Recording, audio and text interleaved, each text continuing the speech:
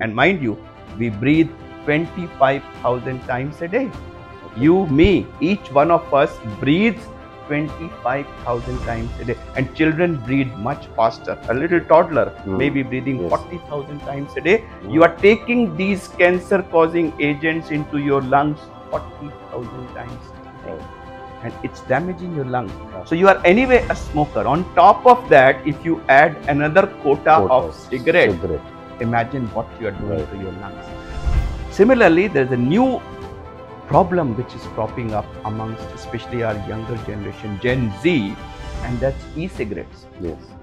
Vaping. Vaping. You go to malls and you see these kids sitting in the malls and doing vaping. You know that hookah is there Right. and it is circulated and everybody thinks it's cool. Mhm. It's being projected as a cool alternative to smoking, which it's not.